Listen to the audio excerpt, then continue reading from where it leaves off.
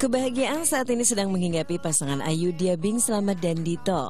Hal ini tentunya disebabkan karena putra pertama mereka bernama Dia Sekala Bumi telah lahir pada 24 Mei lalu. Pulau Dewata Bali pun menjadi pilihan Ayu Dia untuk melahirkan jagoan kecilnya. Uh, proses kelahirannya uh, hampir 12 jam kontraksi, tapi kontraksi intensnya 5 jam. Mm -hmm. Terus alhamdulillah lancar. Pas lahirnya uh, beratnya 3,2 kg, terus panjangnya 50 cm uh, lahirnya hari Selasa.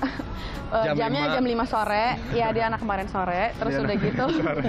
terus udah gitu uh, apa namanya? Sekarang tiga minggu pas dia udah naik uh, hampir sekilo 900 sekilo, gram. Iya.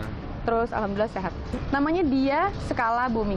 Jadi dia itu sebenarnya DIA itu sebenarnya last minute itu gabungan namaku Dito Ayu. Dia, Ayu dia. dia. Tapi uh, dia skala bumi itu jadi bisa berarti kayak dia seseorang yang nyata terlihat di bumi gitu. Jadi kita punya pesan buat dia kalau nanti dia nakal, nakal. atau dia mau buat jahat, dia kelihatan nih sama penciptanya. Iya, jadi lebih karena kayak, dia selalu terlihat di bumi. terlihat gitu, nih sama, di bumi. Jadi hati-hati ya. Kita sih nggak kelihat uh, apa kalau Kalau kita nggak tahu ah, gitu, Kalau apa-apa. kita nggak tahu ya nggak apa-apa. Cuman lo bohongnya sama Tuhan gitu. Iya. Jadi banyak maknanya. Tapi dapat sebagai orang tua baru, Ayudia dan Dito memang belum memiliki banyak pengalaman dalam hal mengurus sang putra. Maka wajar saja jika mereka kerap kali menemukan kesulitan ataupun kerepotan dalam menjalani tugasnya sebagai orang tua. Namun hal tersebut tidak menggentarkan niatan Ayudia yang berkomitmen untuk tidak menggunakan jasa babysitter dalam waktu dekat. Cuman ya tantangannya itu sih lebih kayak kita kan emang orangnya kayak bukan cuek sih sebenarnya kita pakai cara kita sendiri lah nggak mungkin punya... semua orang tua tuh sama. Jadi tantangannya lebih kayak ya banyak yang gitu maksudnya even yang mm -hmm. kita nggak kenal aja tuh kayak ih kok anaknya digituin sih kok udah ini kok udah gitu gitu sih dan memang kita lahiran juga di Bali kan jadi kayak ya halo kan itu tempatnya depan kita juga. sawah sungai ya kita foto di sawah bukan kita bawa keluar orang depan rumah kita sawah. Ya, ya, sabar, sabar, sabar, sabar. Kamu boleh ngomong di sini buat orang-orang tersebut. Pengen selalu bareng-bareng sih. Hmm. Mungkin bukan babysitter ya, mungkin kru, kru, bilangnya kru.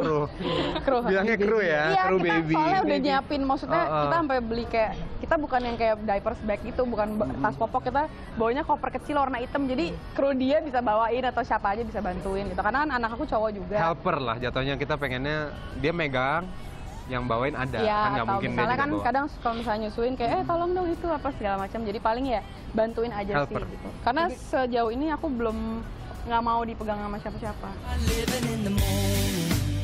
Kehadiran putra kecilnya di tengah rumah tangga Ayudia dan Dito memang bukan hanya memberi kebahagiaan saja, melainkan juga membawa dampak positif lainnya, terutama sifat Ayudia yang dirasa Dito kini semakin lebih dewasa dan bijak karena telah menyandang predikat sebagai seorang ibu.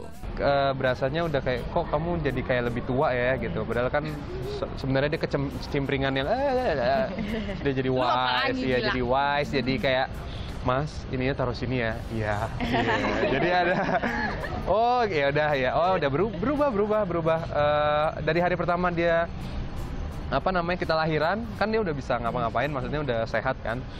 Dari pas malamnya udah berubah, udah kelihatan, Mas ini taruh sini, cara ngomongnya, cara ini, oh ya udah udah iya berubah, iya udah jadi ibu lah. Gitu. Tapi emang kita ini sih, kita dari sebelum lahiran kita udah bilang kayak kita kan kadang kalau ngomong kan, eh lo ini, ini, gitu, iya. gitu kan tapi pas sudah lahiran kita berusaha kayak mas nanti kayaknya ngomongnya jangan gini deh soalnya ntar takut dicontoh kan jadi pelan-pelan kita udah mulai soalnya kita dengarnya bayi itu pinter.